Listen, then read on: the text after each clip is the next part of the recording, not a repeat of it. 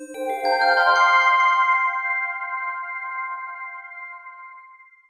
everybody. Welcome to another episode of Prime Talk. Today I have a special guest. Today I'm having Lisa Kinskey. Lisa is the marketing assistant at Noviland, which is an end to end supply chain solution for e commerce sellers. So, uh, Lisa, welcome to the show. Hi, Yoni. Thanks for having me. It's it's so weird being on the other side of it now as a guest. I don't have anything to do. yeah, thank you so much for having me at the show a few weeks ago. It was a really a delightful event, you and uh, uh, Francois. Um, but today is really going to be all about you. It's going to be uh, the episode of uh, Lisa Kinskey. You're going to share with us who are you, what are you, where are you from, where'd you grow up, how'd you uh, begin your professional career, all the way uh, to where you are today with e-commerce. So I guess without further ado, let's jump right into it. Sure. So um, I am a Georgia girl born and raised, uh, born in Woodstock, Georgia, which is just north of the kind of like metro Atlanta area. Um, my parents are originally from Ohio, but they moved down here in, I want to say 1980. And then, um, of course, that's just where they planted their roots and it's where I've been ever since. So, and the um reason for the move was what? a job opportunity or just uh, the cold was too much already or? So my mom left because it was too cold. Um, but my dad's dad started a business down here, and I think my dad came down to help my grandpa with that, and my mom. The way what my, was the business? Uh, they owned a liquor store, actually. Yeah, it was a liquor store. Is it regulated by the state over there? I, I lived uh, North Carolina back in the day, and uh, you can only get like alcohol or liquor in like these stores where you get a, a license from the government. I think it's even operated, but I think it's called ABC stores. I think which which means for alcohol, uh, bottled tobacco. Anyways, I don't want to. Oh, ATB, maybe alcohol, tobacco. Uh, ATS, alcohol, tobacco stores or something like that. Never maybe. mind. I, I don't yeah. think it's the same here because, like, I know in Pennsylvania, it's very strict, like all government run, and you can't like.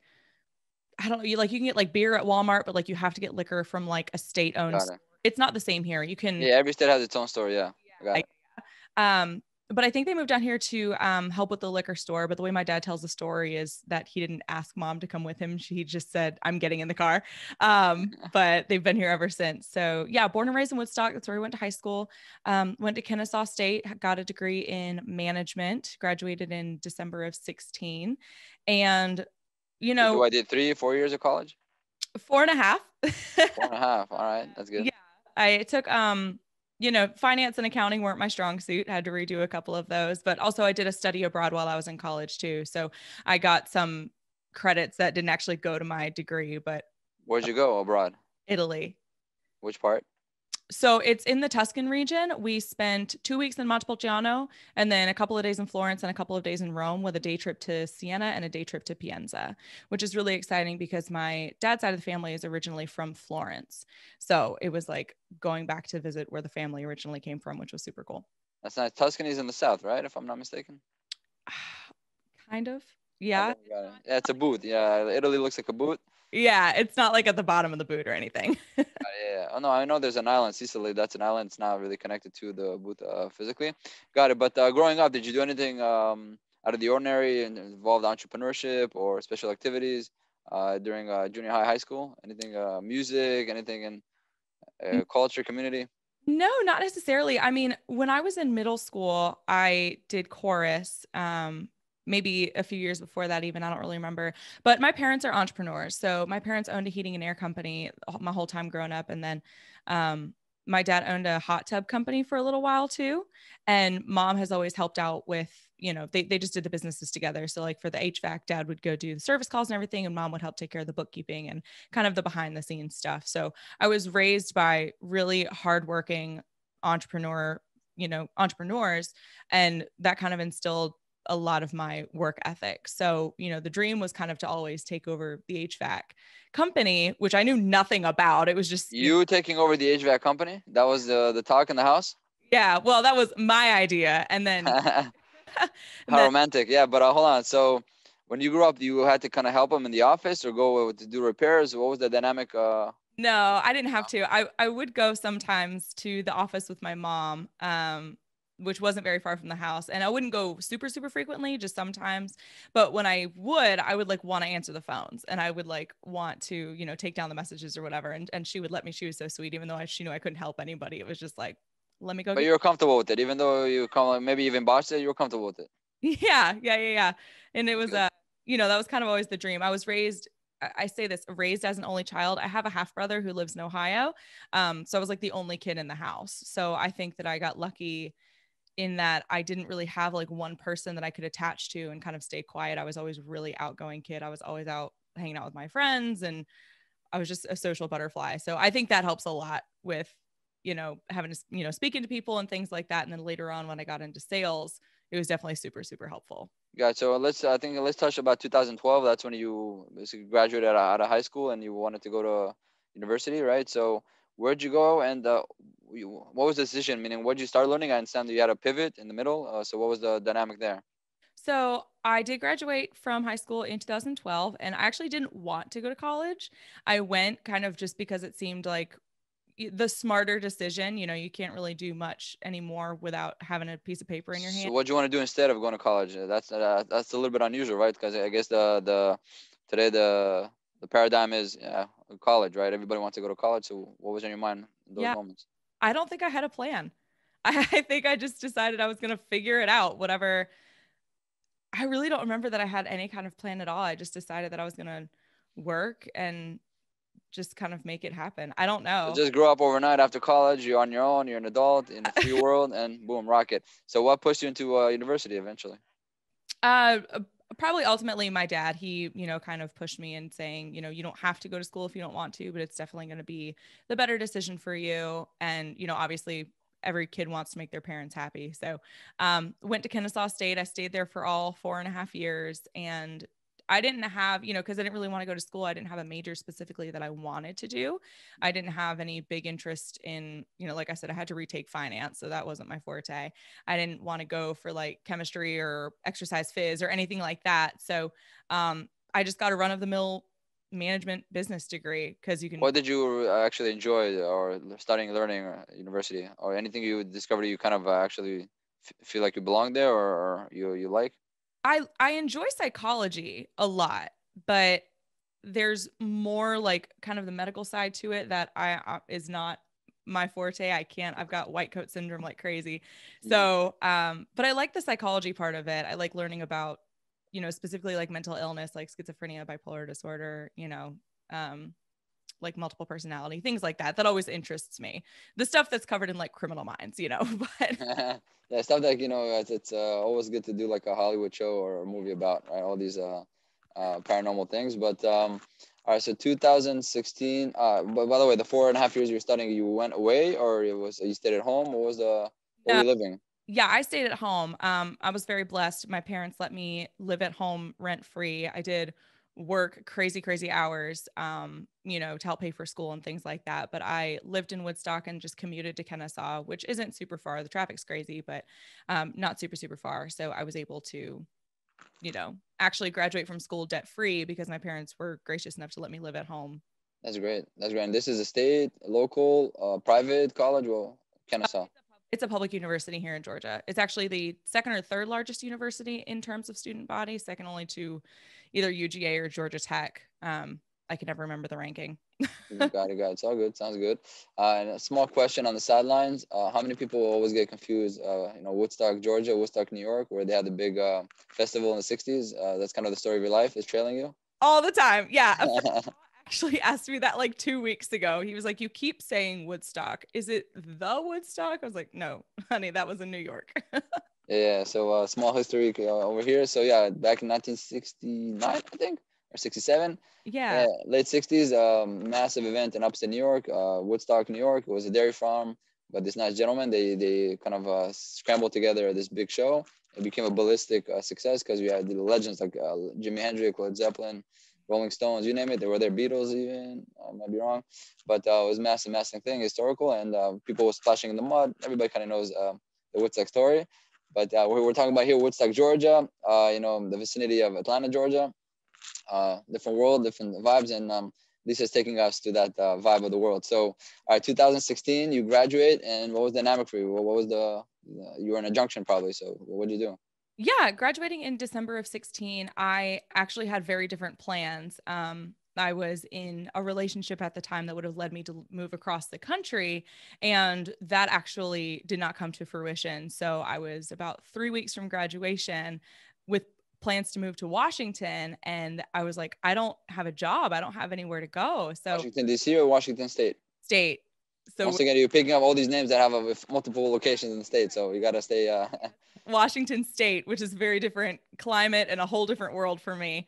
Um, But that didn't, you know, silver lining. Uh, it, everything works out in the end. It's best that I didn't go, but um, so that was my plan. So anyway, I'm about three weeks from graduation and my plans totally change. And so I texted a good friend of mine and I said, Hey, like we're about to graduate. I've got to move out of my parents' house. Like I've got to figure something out. Do you need a roommate? And she said, Well, no, I have two cats and you're allergic to cats. And it's also a one bed apartment. I can't help you there, but do you want a job? So I was like, Yes, yes, I need a job. I'm, that's, I'm that's cool. I, I need a real job. So, um, not that bartending is not a real job, just the sleep schedule is terrible. Mm-hmm. Um, mm so I interviewed at uh, at my employer that I was with up until the coronavirus layoffs all happened. It's called SJV Data Solutions, formerly SJV and Associates. It's a criminal background screening firm, and I started with them uh, on December 27th of 2016 and I was there up until March of 2020. And so that's where I got to experience a lot of different things. I worked in their customer service uh, originally. I got to do. Some- Hold on, what's what's the mission again and the purpose of this company? Just take us there for a moment. Sure. So SJV Data Solutions is a background screening company. So they do pre-employment and um, tenant screening. So if you ever go to get a job and they want to run your criminal history, um, whenever you do education verifications or employment verifications, if you are in the medical field and your employer needs to confirm the legitimacy of your medical license, SJV kind of takes care of that on the back end. There is a middleman called a consumer reporting agency or a CRA. And they're the ones who, it's kind of complicated. There's multiple layers, but you apply for a job depending on your state, the type of employment, the company, and those specific laws determines what you're able to return and make a hiring decision off of. And SJV's job was to just go grab all of the records that we could find and then provide it back to the CRA to then, you know, filter through essentially and determine okay what can we make a decision on you know this that or the third? So, so basically the, the purpose and the mission of the organization is to uh, help other companies make a smart decision if that person has a clean history no no issues with the records in terms of uh, legality or legal things or issues. And then they can really uh, go back and negotiate or do whatever they want to do um, in terms of employment. That's kind of the mission and purpose? Exactly yeah Got it. But uh, what was your mission or what was your role in the company? Uh, you know, where'd you start? Where'd you finish? What was the experience like? Yeah, so started as just a regular customer service representative, um, worked up to be an account manager, which is you know a CSR customer service representative with more designated larger accounts. Um, then worked a hybrid position between sales and customer service for a while, and then I was in sales full time. And then so how do you sell this? When you do say sales, it seems like almost like a you know, it's a, it's very needed, right? This this solution is needed. So how do you uh, attract clients or business? What's the competition like? What's the landscape? Yeah, that's a great question. So uh, background screens is specifically in certain areas are highly commoditized, right? It's and right. a lot of times it's just a race to the bottom as far as price is concerned. A lot of these counties, especially you know in the higher populated areas, everything is able to be automated through the court computer systems and everything is online. So a lot of these companies are building what they call robots. Um, they're just automation systems to grab the information from the website automatically and then send it straight through. So they're very fast. Um, and they're very accurate as well.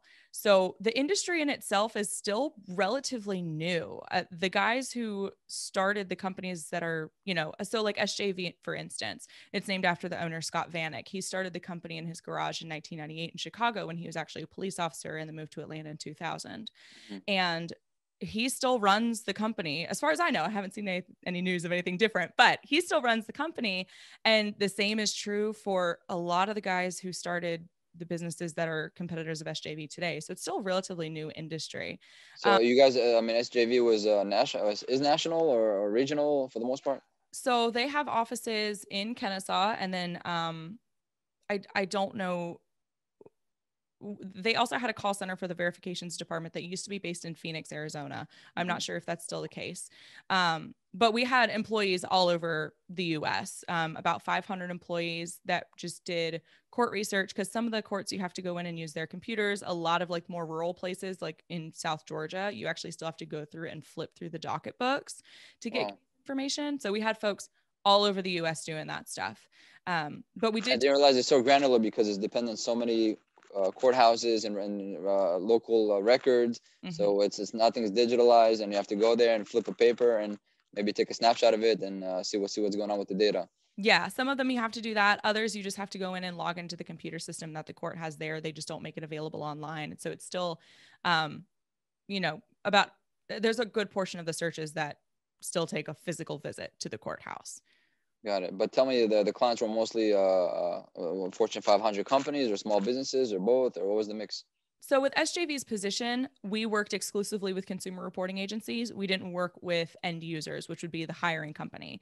So like when you know Noviland hired me, they would go through a consumer reporting agency to gather all of my information. So especially if you're like higher up in a financial firm, they want your um, your civil records, your credit records, things like that. So they'll go to a consumer reporting agency who then farms out the actual legwork to companies like SJV. So we would work exclusively. SJV is more like a supplier. It doesn't do uh, B2C. It does B2B.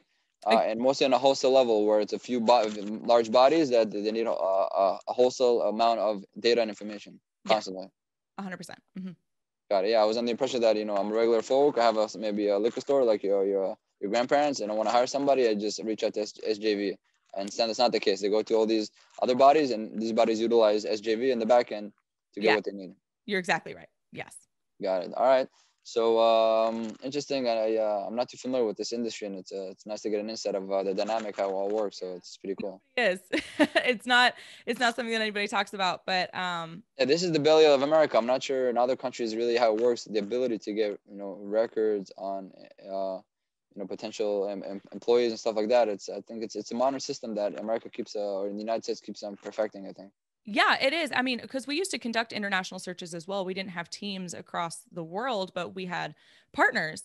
And there's a lot of countries that really don't keep criminal records and I'll give you an example from my country. You know, and my country is so small, and I- I'm born and in uh, Israel, just uh, for, for context reasons. So in Israel, it's like almost everybody knows everybody. So somebody comes to an interview, it's like you give a call to your friend, oh, you know this guy? Oh, and you know this lady? Yeah, yeah, it's, it's all good. Mm. It's like almost clannish. Um, but here, yeah, it's, it's, a, it's a big country, 300 million plus people. You have to have uh, standardized systems and the ability to really uh, see what's going on. Yeah, you do. And and for that for that example uh, exactly that you just gave of like, hey, do you know this guy? Oh yeah, I do. There's so many folks who just try to put like their best friend down as their manager, you know, when at whatever job they worked and it's like, no, I need to confirm that like you really work there. So there's a lot more that goes into it. And then privacy laws abroad are very different as well. Like I remember if you wanted to get and I'm I hope anybody from SJV is listening, I'm going to butcher this, but I I remember in Germany specifically you had to have written authorization from the applicant themselves to even submit a records request and then they had to review the results of the records request and sign off on that before we could even return it to the consumer reporting agency so these would take months to get done because you had to submit through the verifying body in Germany and everything was done by mail. I mean, they would take absolutely forever. And then it was a different story if the applicant lived in Germany as opposed to in the US. So it's there's a lot of intricacies that go into it So it sounds like you guys were doing a global work. So besides Germany, which other countries did you guys uh, get involved with? all of them. All of them Oh, wow. as like you know uh we couldn't get records out of north korea for you know obvious reasons um and then i think there were some laws in china where we weren't able to do searches i mean there was a very very short list where their privacy laws just didn't allow for us to do searches which was true of all of the reporting bodies like no So background you, you used to go internationally by default, or that was more of a specific request of, of the CRA body? you had to ask for it yeah so a lot of the searches. It's an add-on. Basically, it's an add-on. I'm sorry It's an add-on as a solution. You say we could do it nationally or internationally, right? It's like an add-on for, for whoever is requesting. searches entirely. So you would either run a domestic, either like a, a statewide search, a county search, a national search, or you could order an international for the specific country. And then if you knew that this person lived in multiple countries, you had to have individual searches for each of those countries because the processes are different. Wow, interesting layering. I didn't realize that. Very, very cool. All right, so 2020, right, March. Uh, you know, big, uh, big uh, month for the world. Uh, global pandemic hits in, COVID-19. Uh, what was your story? Uh, I was already working from home for a while. So I was on the um, marketing team at that point in time. It was just me and another gentleman, Nick Fishman. He's incredible. Um, he lived in, uh, oh gosh, I forget now, Chicago, I want to say. Um, anyway, I was already working remote. So when they were like, and nobody's coming into the office, everybody's remote. I'm like, well, this doesn't affect me at all. We're all good. Um, well, then once all the courthouses closed down, of course, there's no nobody's hiring because nobody's going into work and all the courthouses are closed. There's no records to be processed. So um, I was laid off in March, along with about 40% of the workforce. And from there, it was just start applying to other places because at that point we didn't know when you know the SJV business was going to be coming back. They ran with a really lean team, and I think they've brought most everybody back, which is you know good for them. They seem to be doing well. Um, but it was just start applying the next day. Just started putting in applications after application, and you know along with everybody else in the U.S. Wow. So, yeah. Yeah, that's a rough moment. So in March, everything comes to a standstill, especially for your organization, your business uh, complete freeze. Um, yeah, you didn't like slack back and say, let me take unemployment. You next day you already applied, and I think those first few weeks, that's when uh, unemployment just soared. It was just, it's, it was like a bungee jump in reverse. It was all jumping up. The the you know tens of millions of people just applying for new jobs overnight. It yeah. was kind of uh, devastating on on a on a fiscal level. Um, okay, so you're in that mix, and what happened? Did you get lucky, or, was it a little bit of uh, I got very lucky, but it took a couple of months. Um, and you know, as as my dad said, I, I sat in the catbird seat pretty much the whole time because I got laid off in March when you know, and and my income at that point in time allowed for me to get the full amount with the unemployment. I was living off of the unemployment, but it's that didn't mean I wasn't looking for work. I absolutely was. Um, but I w- was getting that, and then with the additional, you know, uh, stimulus that we were all receiving on unemployment weekly, so um, I was receiving that and I was looking for a job and I finally I interviewed at Noviland on July 1st, I want to say. Mm-hmm. And then I started on July 13th and that additional 600 everybody was getting with their unemployment checks was going to be running out at the end of July. So I really like was able to take advantage of you know all the way to the finish line. Yeah. Yeah.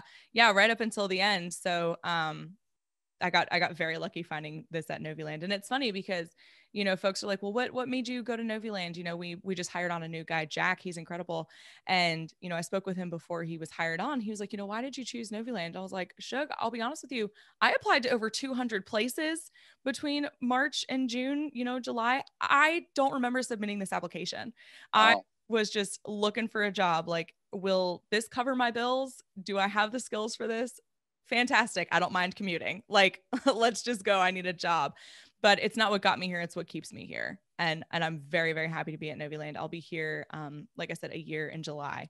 And they're just an incredible team and I, and I you know really believe in the business. But but yes when i was starting it was you know francois was like what do you know about supply chain? I was like nothing but i will all right cool very cool. So yeah he, uh, your friend just took my question away like what brought you uh, how'd you get to noviland? So i guess yeah it was a, a numbers game and uh, you submitted a bunch of applications and, and that clicked and hit uh, but take us to the moments where uh, they explain to you what it is, what's their mission, what's their purpose, and how it began to resonate with you and really um, take form where you know this is your professional career right now.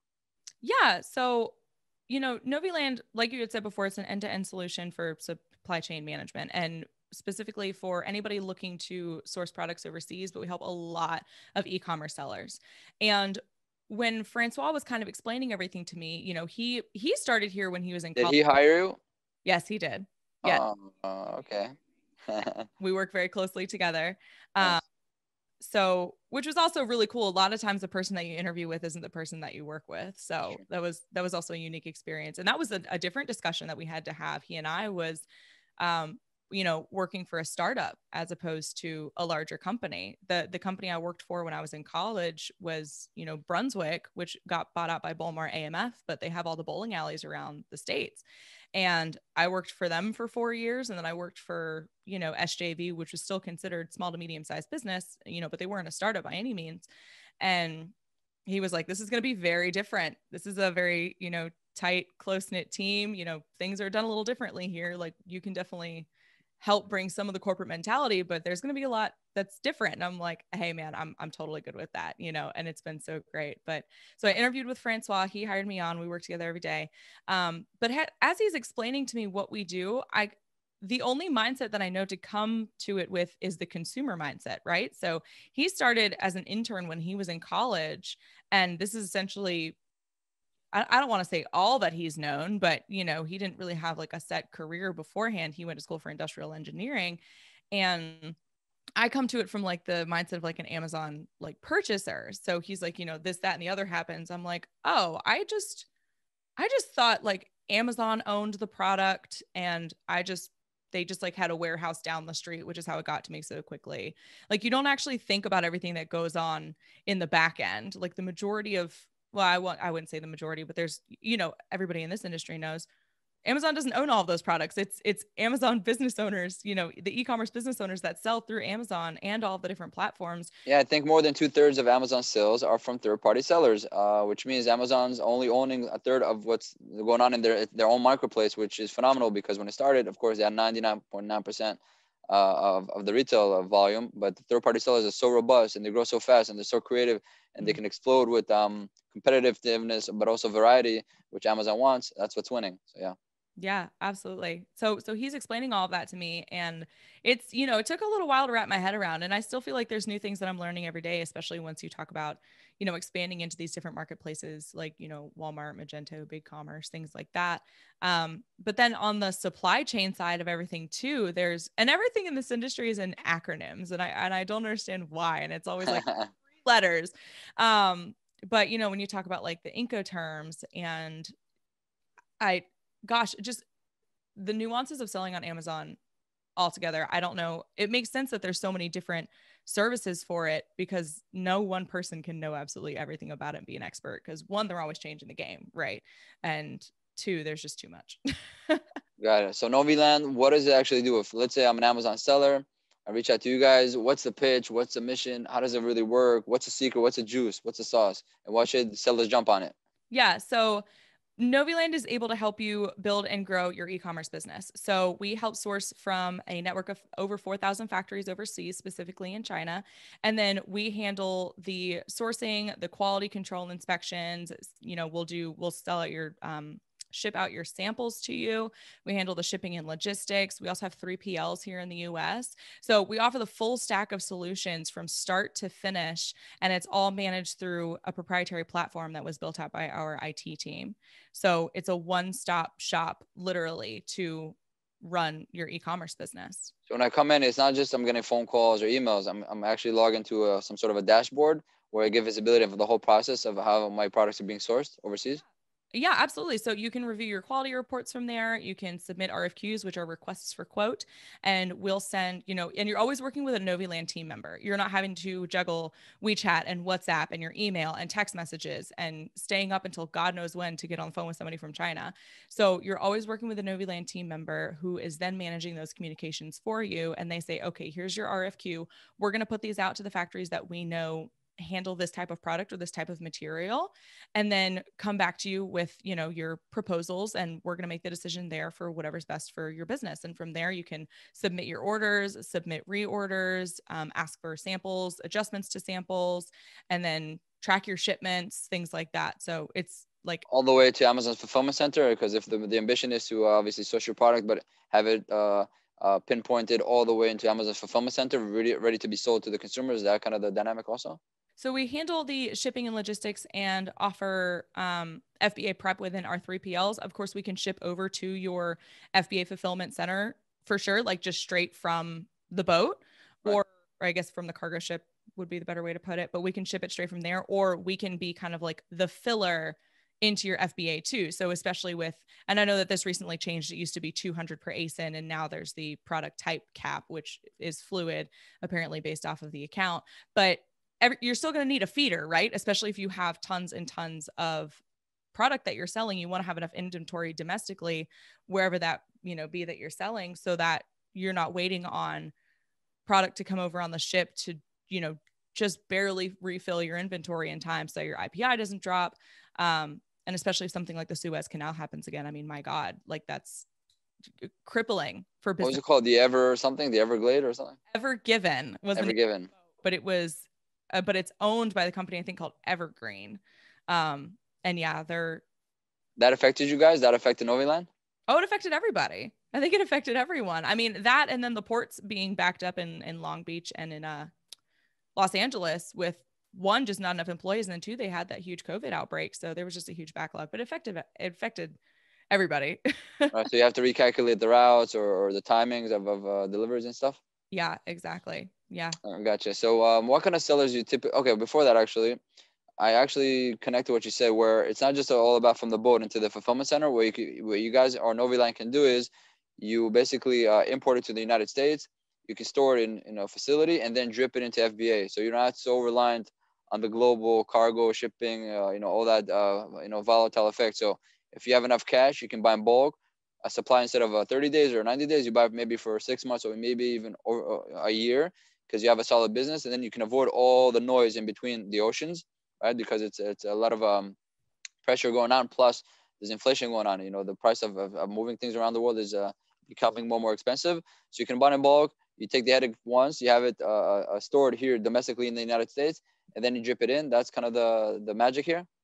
Yeah, exactly. I mean, but the real magic of what Noviland does is just being able to manage absolutely every single step through the platform that we've created, and you don't have to jump around. But what what about the self-fulfilled? Uh, I mean, uh, once you have it stored in the, uh, in a, let's say a, a, warehouse in the United States, you can drip it into FBA, but you also have capabilities of doing what they call FBM, fulfilled by merchant.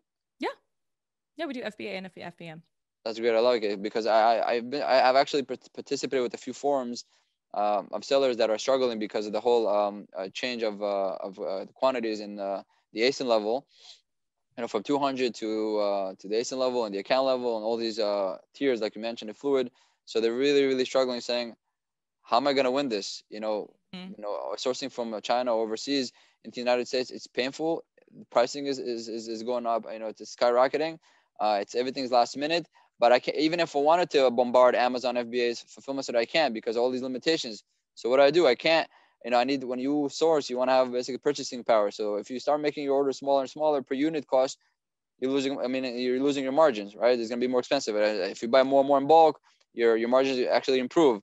So it puts a seller, a lot of many sellers in a position where they're being squeezed out.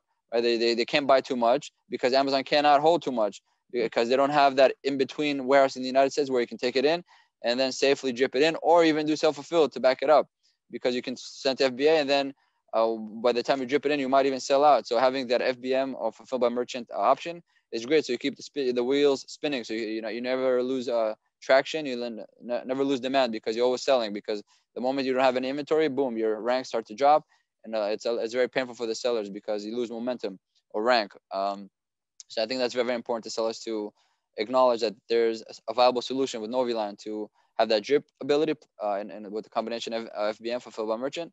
I think in these days and the, the current momentum, and that's kind of uh, powerful, you should probably stress it out as you go along.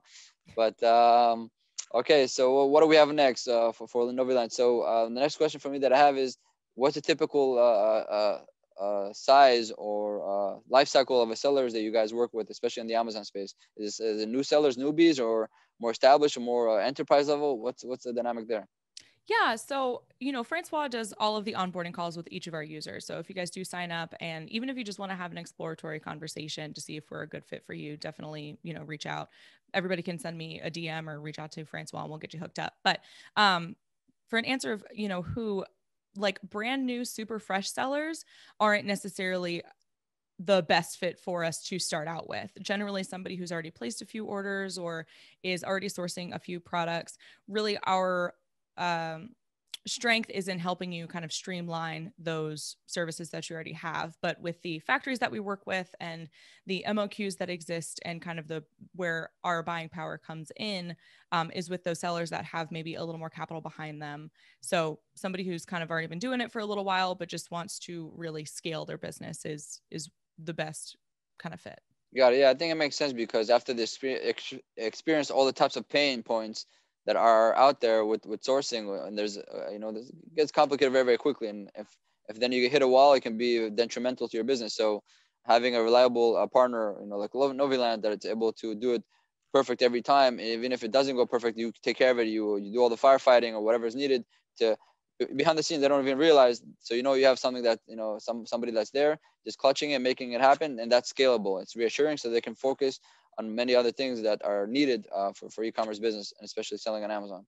Yeah, exactly. And and being able to just kind of outsource all of your services to a trusted partner like you said helps you to work as the e-commerce business owner helps you to work on your business instead of in your business. Like especially if you're wanting to scale, you don't want to be managing those WhatsApp, those WeChat, those all those different messages with your freight forwarder over here and then your quality team over here and it just it gets to be too much. Like that's that's cool and that's fun and I think I personally think that it's important to understand every step and every facet of your business as an owner because otherwise how can you train folks to kind of help you out? But at a certain point in time, if you want to scale, that's not sustainable. So being able to have a partner who has those solid relationships and processes and systems in place is really vital to being able to help you scale. Yeah, I think also what happens is because they experience so much pain and, and now you relieve the pain, they immediately understand and appreciate the value. So that makes a long lasting partnership. A hundred percent. Yeah. I got you. All right.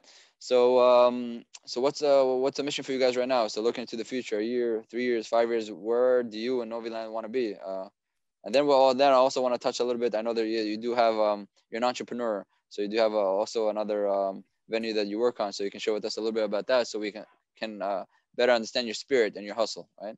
Sure. Yeah. So as far as where uh, we want to be in a few years, I we have some really exciting projects coming up that I can't talk about, but just know that um, just be look just be on the lookout probably in the next like couple of months. We're going to have some really exciting stuff coming out so i can't really talk about it but i know that the plan is definitely to continue to grow the Noviland business and to grow the Noviland team. We just new, moved into this new office. We have so much more space and uh, where I personally would like to be is I would no longer like to be an assistant. I would love to have a team under me and either be, you know, manager or director at some point in time. Francois, while I'm looking at you. Uh, but um, but that's that's kind of the goal here. Like I I would love to stay here for for the long haul, but definitely the goal is to just can continue growing and and help you know more and more users in any way that we can. Got it. I want to add a small, uh, another small question. So besides obviously the main purpose and mission of Noviland with helping with end-to-end supplying, um, or sourcing. Uh, how else are you helping uh, sellers besides that uh, in terms of um, your community approach or education or I'm um, basically hinting for your show. So go ahead. I know. I love the plug. Thank you so much. Um, so Francois and I publish a uh, podcast. It's called Link Up Leaders. And our, what our goal is just to link uh, e-commerce business owners and anybody who's curious about e-commerce or supply chain with leaders in both of those industries. So we've had incredible guests like you on the show. Um, we've also had oh gosh, we've done so many now. How many names can I remember? Um, Carlos Alvarez. We've had Norm Farrar. Um, we've had the guys from Firing the Man. Um, David and Ken, yeah. Yes, yes, David and Ken. Thank you. We've had uh, Dustin Kane and Chris Gramlich from Two Amazon Sellers and a Microphone. Um, Chelsea Cohen from So Stocked. We've had Megala Bardwaj from India Sourcing Trip and um, Global Sources. She's incredible. We've had some folks from Seller App. I mean, really, we're just wanting to bring as much information and knowledge as possible about ecom and supply chain. It's very not salesy. We just want to be able to create kind of this knowledge base and the source of education for anybody who's wanting to start, scale, or even successfully exit their e-commerce business.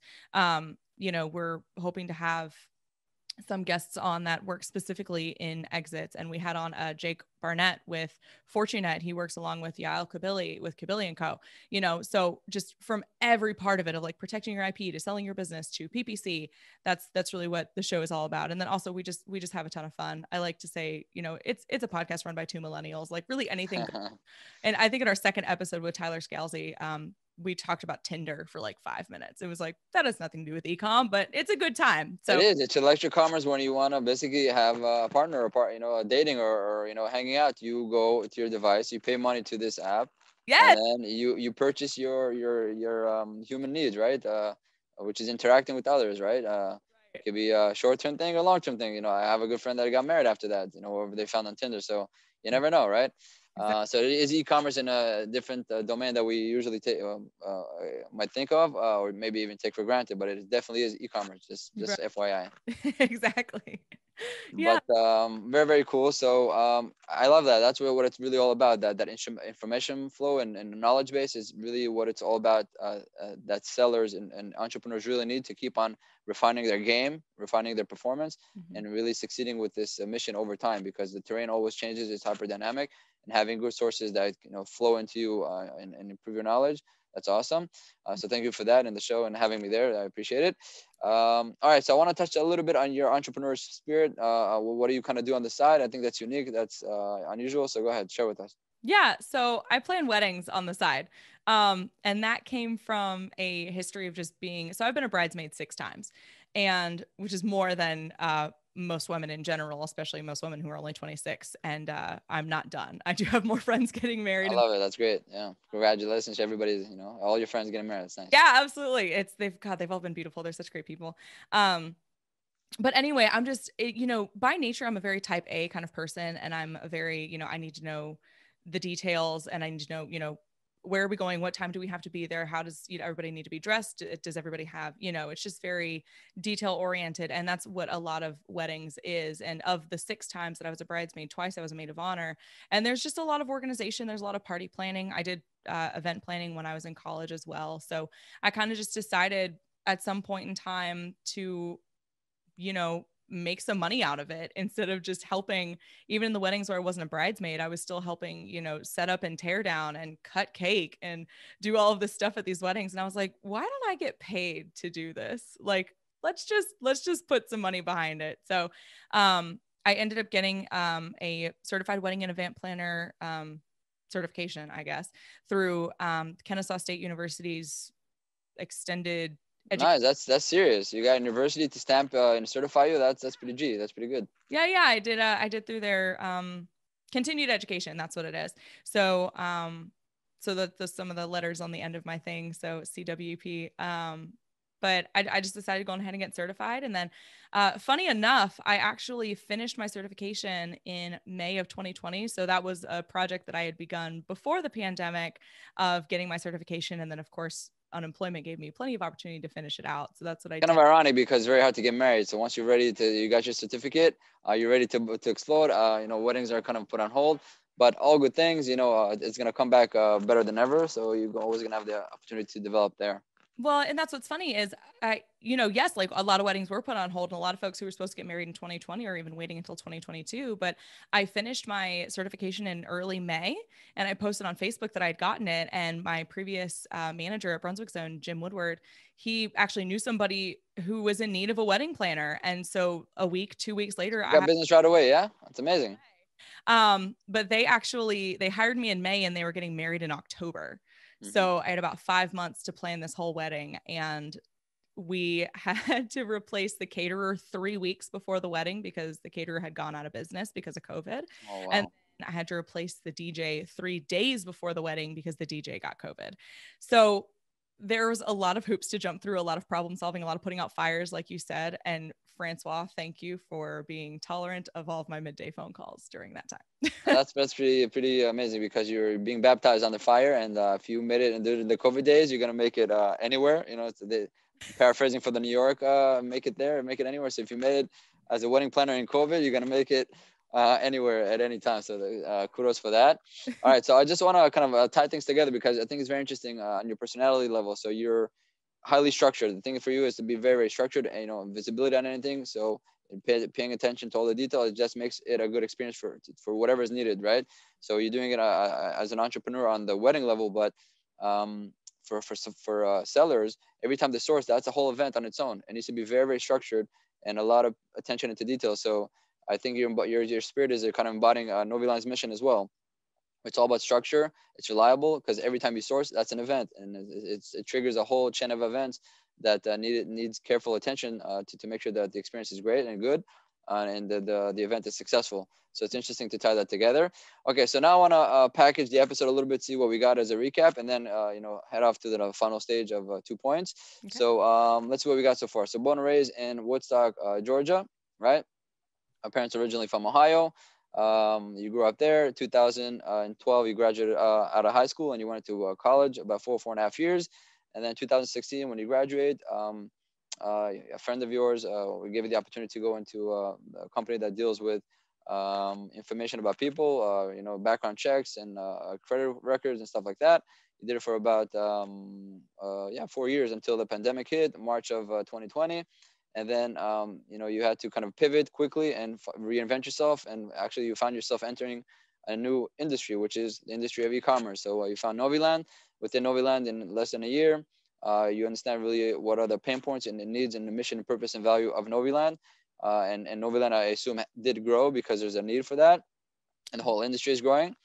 Um, in addition to all that, you, uh, you and Francois um, actually, uh, beyond the, the core mission, create another mission where you create a knowledge base with the podcast, with the show, to help educate the sellers and make sure that they get more transparency of visibility of other things that are not immediately related to Noviland's mission.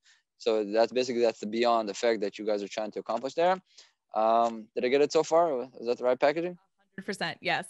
Got it. Very, very cool. So thank you for that. And thank you for sharing. All right. So let's touch the last two points, right? So uh, the first thing will be is um, if somebody wants to connect and uh, learn more about you, where can they find you? Is it, give them a handoff. And the last thing will be is what is your message of hope and inspiration for entrepreneurs listening out there? Yeah, absolutely. So if anybody has any questions for me, you can always email me directly at lisa at noviland.com.